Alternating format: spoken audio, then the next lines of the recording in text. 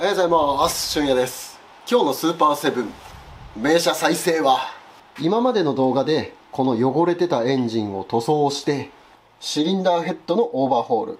そして穴の開いてたオイルパンの修理。サブチャンネルとかで細々した部品の塗装とか修理とかもやってきました。あとガスケットとかウォーターポンプとか細かい部品も一式揃ったのでこのエンジンの組み立てをやっていきたいと思います。名車再生スーパーセブン。チャンネル登録よろしくね。まずはエンジンのこの上側ですね。ヘッドの当たり面。ここちょっとこうガスケットのカスみたいなの残ってたりとかしてちょっとね汚れてるからオイルストーン当ててきれいにしていきます。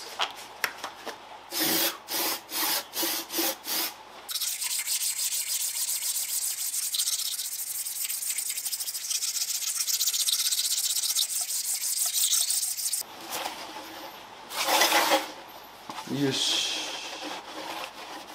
特に傷とか打痕とかそういうのはなさそうだから。大丈夫そうですね。鋳鉄ブロックだからそんな歪みとか出ないと思うんだけど念のため測定しときます。0.03でいっか。もう0.03が入らなければもうバッチリ。全然入らない。もうぴったりですね。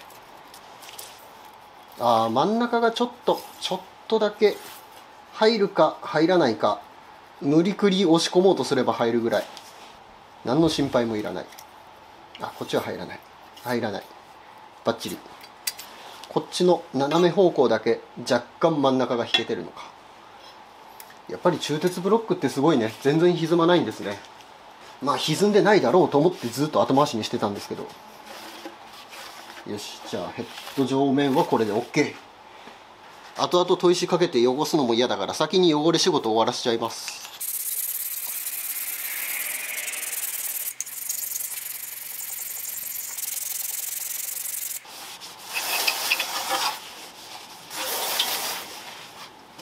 うん綺麗にサビが落ちた。そしてネジ山も今のうちにさらっておきましょう。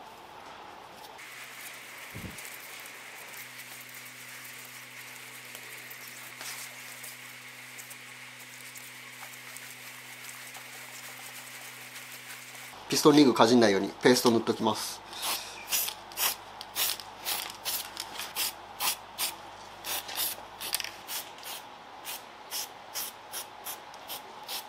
ひっくり返して次はこっち側。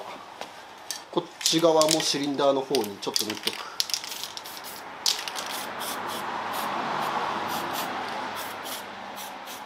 あとここにカムシャフトがいるんでカムシャフトにも塗っときます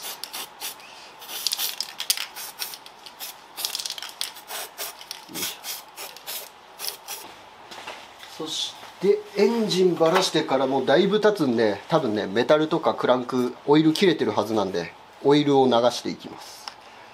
ここのオイルポンプつくところに油を入れてセンダーユニットつけて圧力計ですね。こっからエアー抜けちゃうからこれだけつけといてこっからエアーで油を流しながらクランク回してきます。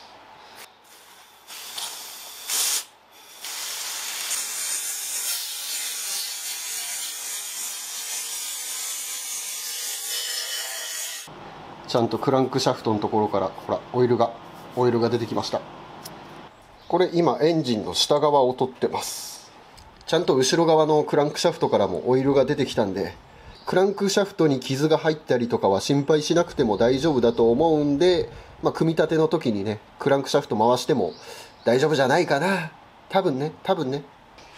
そしたらエンジンの組み立てをじゃんじゃん進めていきたいと思います。まずは後ろ側のクランクのオイルシール交換からやっていきます。ここにねオイルパンとかをつけなきゃいけないんですけどこれ固定されてないと作業進められないからまずはオイルシールの交換から。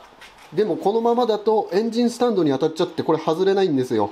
だから一回エンジンを下ろしてここのオイルシール交換してまたエンジンスタンドに戻してっていう感じでやっていきたいと思います。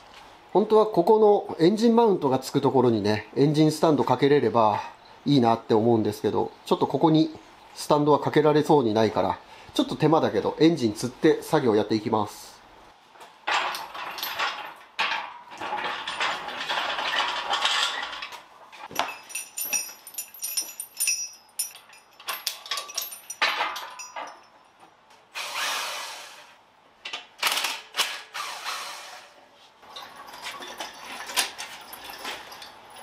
よいしょこれで外れる。じゃん取れた。オイルシール。これ交換する。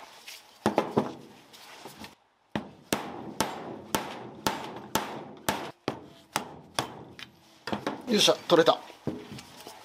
残ってるガスケット掃除して。よいしょ。のみ使ってます。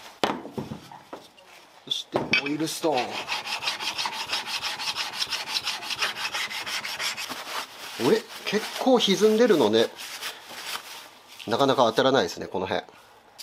ネジ穴の周りが膨らんでるのかな。それ以外の場所が低いような。結構歪んでるからがっつり削り込みます。ちょっと目の粗いやつで一気にいっちゃいます。これ時間がかかっちゃう。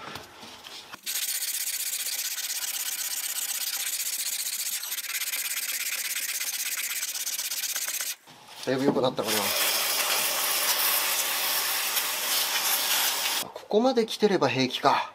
ちょっとまだこの辺引けてるけど。あとは目の細いので整えればいいでしょう。よいしょ。新しいオイルシール。オイルシールのメーカーは NAK 聞いたことないな。NSK なら知ってるけど、まあ、ちょっと知らないメーカーですね。新しいのオレンジ色ですね。さっき外したやつ黒かった。まあメーカーが違うからかな。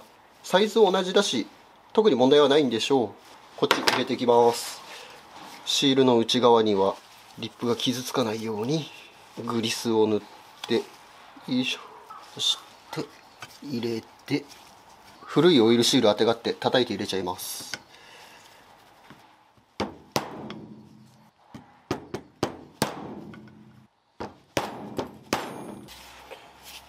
オイルシール入れ終わりました。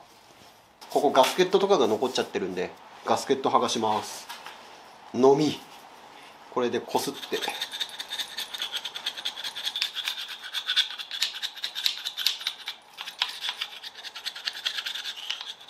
そしてオイルストーン。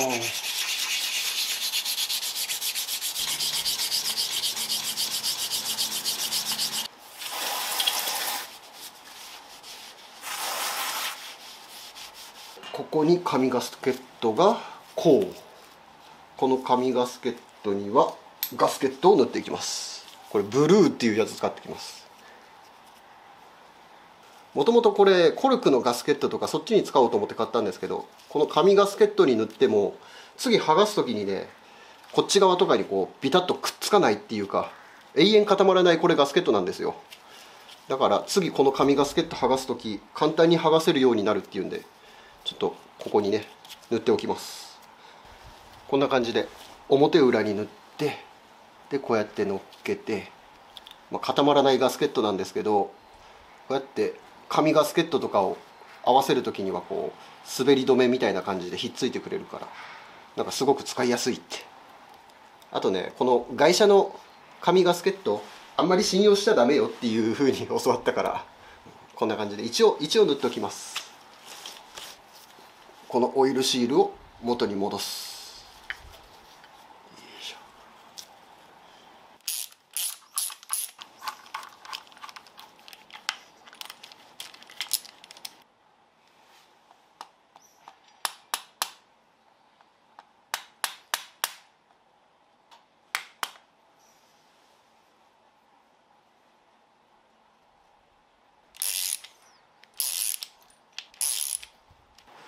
よしこれでクランクシャフトからのオイル漏れは収まりましたね。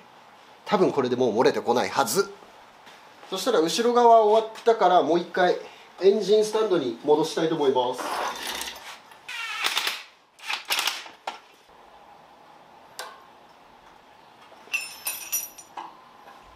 次はフロント側のケース組んでいきます。脱脂して。ここも紙ガスケットだから。これにもハイロマー塗っときます。多分日本車じゃ塗らないだろうけど外車だから。外車だから。部品精度が心配。このハイロマー塗っておけば固まらないからうまくやれば剥がす時再利用できる時があるらしいです。よいしょ。こんな感じで表裏塗って合わせて。そしてケースは後ろのやつやった時と同じになっちゃうからカメラ回ってないところで進めておきました。取り付け面砥石当ててオイルシール打ち込んでそしてこれをつけていきます。ウォーターポンプは新品に変えちゃいます。距離数的にはねまだ5万ちょっとしか走ってないからまだまだ平気だと思うんですけど年数がね年数がなんて言ったって27年前のやつですからちょっとさすがにね心配。ウォーターポンプ壊れたらねエンジンオーバーヒートで一発で終わっちゃうから。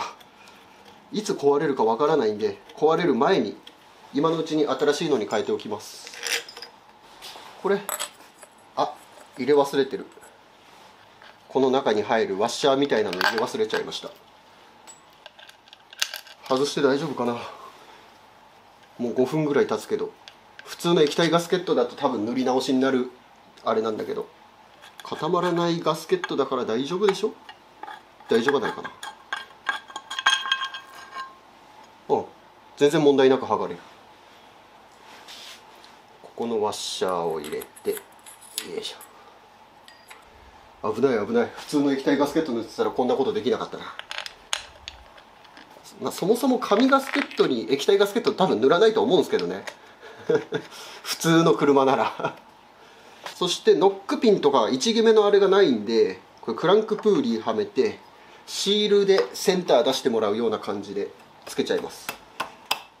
プーリーを入れてボルトはフリーな状態でこれでセンター合わせてよ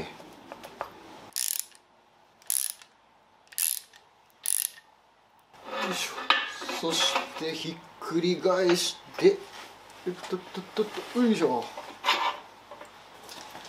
次オイルパンつけていきます。とりあえず脱脂。そしてここのガスケットはうんとコルクですね。コルクのガスケット。あこれこっちだ。こっちだな。コルクのガスケット。で後ろのアーチになってる部分はゴムのガスケット。ガスケット。ゴムはただはまるだけ。よいしょ。でこのコルクのやつに塗るためにこのハイロマ買いました。このコルクのガスケット肉痩せするんですって。だから1年おきにね増し締めみたいな感じで締めていかないといけないらしくて。ただそうすると普通の普通の液体ガスケット固まる系の液体ガスケットを使うとこのコルクの潰れたやつに追従できなくて結局剥がれてきちゃってオイル漏れする。増し締めしても増し締めに追従できない。だからこの固まらないガスケットを使った方がいいって教えてもらったんで今回これハイロマーっていうのを買いました。増し締めで対応できるなら対応できるようにっていうことで固まらない液体ガスケットです。こんな固まらないガスケットがあるなんて知りませんでした。整備士さんに感謝。そしてオイルパン側にも塗っておきました。こんな感じで溝みたいなのが入ってるからまあ漏れてきたら嫌だから。ちょっとなんか塗りすぎな気もするけどまあいいでしょう。多分大丈夫。そしたらこれをかぶせます。忘れ物はないね。大丈夫だね。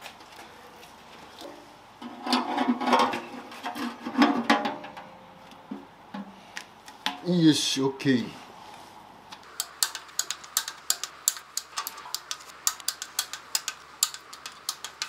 これでオイルパンは OK コルクのガスケットだから多分また1年後とかに増し締め本当にあの締め直しが必要になるとは思うんですけどそれでも今回ハイロマー使ったから固まらないガスケットだから締め直しにちゃんと追従できてオイル漏れはしなくなると思います。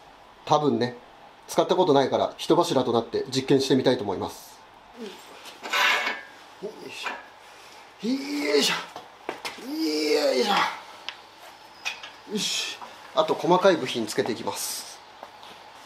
まずは機械式の燃料ポンプ。これもガスケット紙なんでハイロマー塗って組んじゃいます。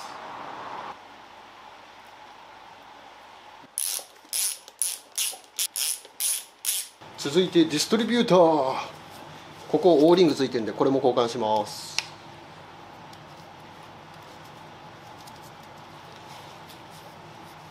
中の端子そんなに減ってないから今回は再使用です。本当はね新しいやつに変えたいところですけどね。費用が費用がかかりすぎちゃうから。今回ディストリビューターは再使用です。圧縮上視点合わせたからあとはこれをつけるだけ。そしてオイルポンプ。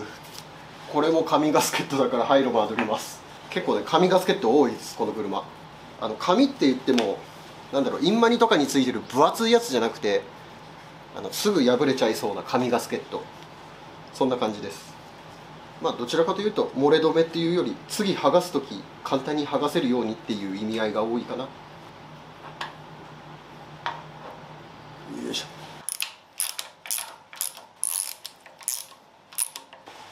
そしてオイルフィルターもつけちゃいます。これトヨタ用のやつです。トヨタ。これがつくんですって。なんかぴったりぴったり入るらしいですよよいしょ入るおお合うね。あすげえ。トヨタ用がぴったり。OK そしてカメラが移動してここにオルタネーターのステーがあるんでこれつけちゃいます。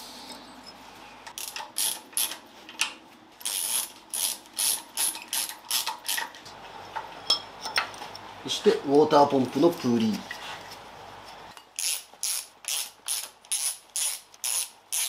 ここしっかり締められないんでこれ共回りしちゃうから。だからこれはねベルト貼って後で締めます。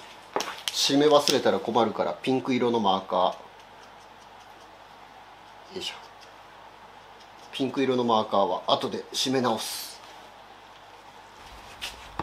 よしそれじゃあヘッドを組んでいきますよ。まずは脱脂をして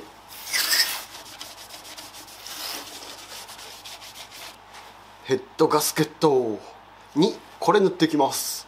カッパースプレー。ヘッドのフライス目。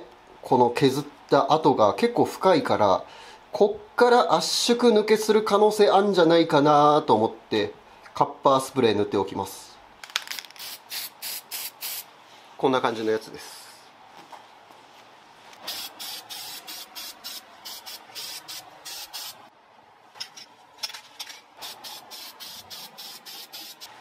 ジムニーのエンジン組んだ時はエンジンを面剣かけて表面砥石でね綺麗にこう目を整えたツルツルの状態で組んだから多分こういうのいらなかったと思うんですけど今回は特にエンジンいじってないから念のためです念のため。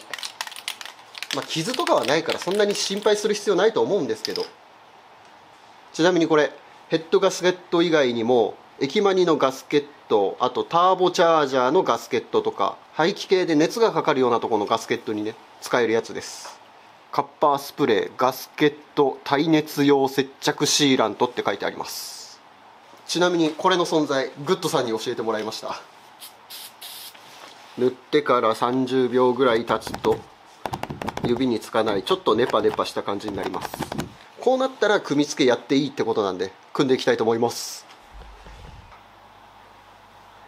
よし。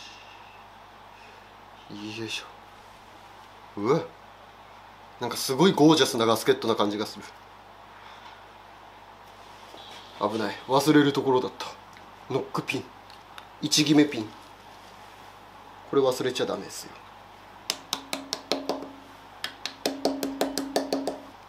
そしてヘッドを乗っけます。ボルトにはオイルを塗って滑りを良くしてちゃんとトルク管理ができるように。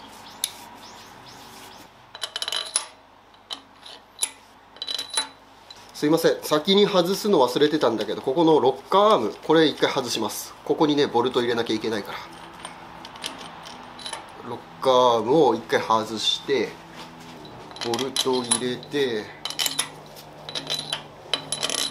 ヘッドボルトを内側から外側に向かって規定トルクで締めていきます。まずは30ニュートンから段階的に少しずつ締めていくような感じで。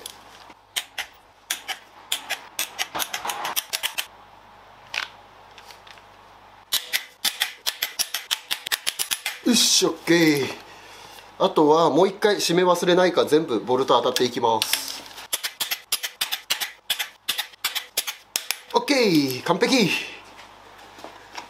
忘れないようにマーキング。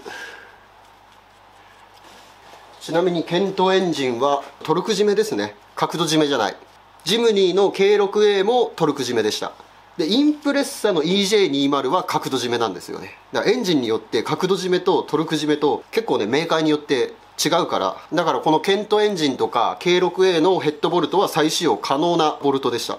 EJ20 みたいに角度締めのやつはねボルト再使用 NG だったりするんですけど今回のはトルク締めだからボルトは再使用してます。そしたらここにもペーストスプレー。よいしょよいしょ。でここにプッシュロットが刺さります。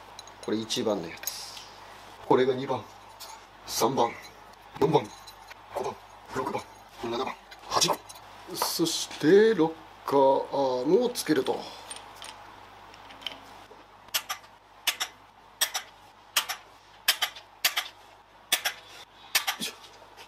タペットクリアランス調整していきます。バルブのすり合わせをしたからだいぶずれてますね。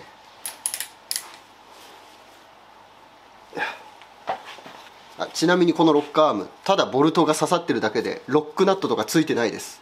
こっちのアームの方のネジ山とボルトの方のネジ山となんかピッチが違うだかなんか特殊な作りでロックナットがなくてもこれボルトが回らないっていうなんか特殊な構造らしいです。だからただレンチかけてボルトを締める緩めるやるだけで調整ができます。そしてクランクを180度回して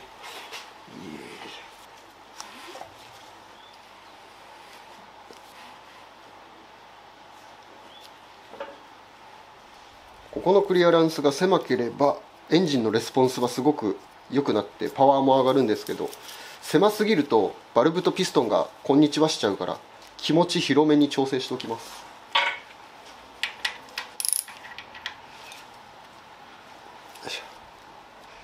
冷感じだからね。なおさら広めに。OK 全部調整が終わりました。これ今クランクシャフト回してこれバルブの動き見てたらなんかね順番逆ですね。排気と吸気の気筒番号のあれが全部逆。でなんでこれ逆になってんだろうってずっと考えてたんですけどなんかググってみたら旧 JIS 要は規格ですよね。JIS 規格あれ日本の JIS 規格で旧 JIS は前から1234番なんですよシリンダー番号。ただ国際的な、え、順番で言うと後ろから1234なんですって。で今変わって新 JIS も後ろから1234なんですって。だから旧 JIS と新 JIS で前と後ろのね順番が違うから多分僕これ順番間違えてあれしてます。旧 JIS で前から1234で考えてたから圧縮上視点のはずが排気上視点になってるもんな。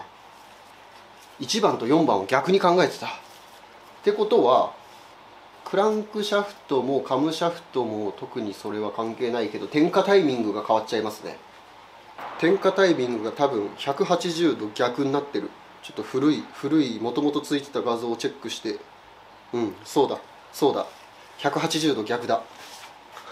ここの配線の出口が上から出てるんですけど古いやつチェックすると下から出てる。だからボディが180度逆でだから上下反転する感じですね。あぶね。クランク回してカムシャフトの動きチェックしたから気づいたけどこれ気づかなかったら点火タイミング真逆になってました。わあわあわあわあ。気づいてよかった。エンジンかからないって変な沼にはまるところだった。ボディが下向きで1番シリンダー要は日本車でいう4番シリンダーが今圧縮上視点だから4番に火が飛ぶように設置しなきゃいけない。危ねえ危うくトラップにはまるところだった。ジムニーとかはね休日でしたからね。そしてまたダッシュをしてダッシュばっかですね。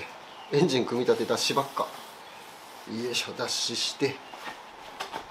そしてヘッドカバーガスケット。これもコルクだったからハイロマ塗っておきました。これをつけてヘッドカバーをつけてよいしょ。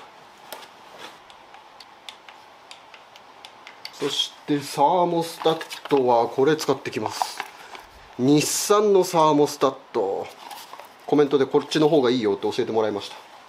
これ純正のやつだとここの開く量は少ない割に温度はね低いからローテンプサーモ的な感じで早い段階から開いちゃうけど流量が少なくてオーバーヒートしやすいというかなんかなんかそんな感じみたいでこの日産のやつに変えればオーバークールにもならないし流量は確保されてるしこっちの方がいいみたいです。ただコンマ2ミリぐらいこの外周がでかくてぴったりとはまらないからこの周り削ってつけていきます。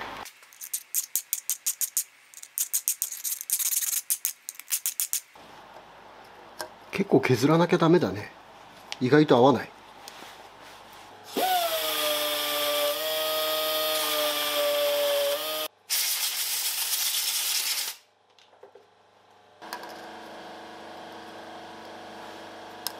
おぴったりはまった。バッチリです。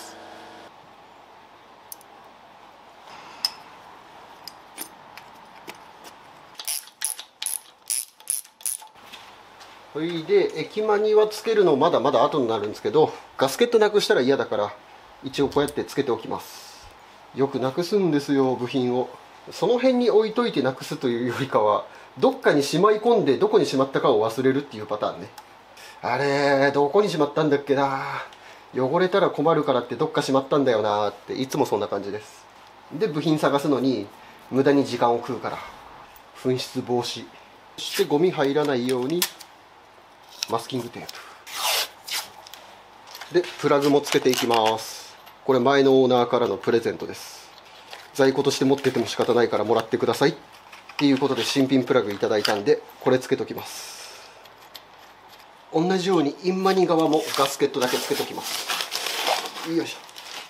絶対なくすんですよ。絶対なくすの僕。どっかにしまっちゃうの。あと付け忘れてたこれ。ブリーザータンクじゃなくてなんだっけ？キャニスターじゃなくてブローバイガスのタンクみたいなやつ。この中にねなんかスチールたわしは入ってないな。隔壁になってんのか？隔壁になっててここでブローバイガスを受けるやつ。これがねここにつきます。じゃん多分これがちょうどいいサイズ。若干サイズ違うけど多分大丈夫だと思う。うんぴったり。ぴったり。ちなみに外したオーリングには液体ガスケットが塗られてました。よいしょ。これがここについてあちょっときつかったかな。ちょっときつかったかな。あいや意外とぴったりだ。これでエンジン完成です。